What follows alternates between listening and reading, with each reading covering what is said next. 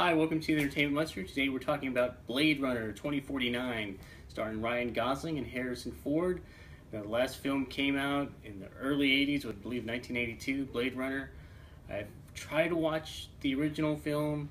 I'm not interested in it. I've, I've always been so bored with it, and I, am going to give it another try because it's not uh, an action film, it's more of a detective noir type of film and I thought this film was entertaining, enjoyable, but it's not a movie for everybody. So you really have to be into this type of genre.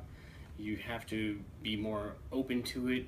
I guess you had you just have to be in the mood to watch this type of film because it's not your typical sci-fi movie. It's not your typical um, action buddy comedy film. It's nothing like that at all. It's, it's a very different sci-fi film, but it is a good movie. So check it out if you have the time, if you're interested, and Thanks for watching. Let me know what you thought, and don't forget to subscribe. See you next time.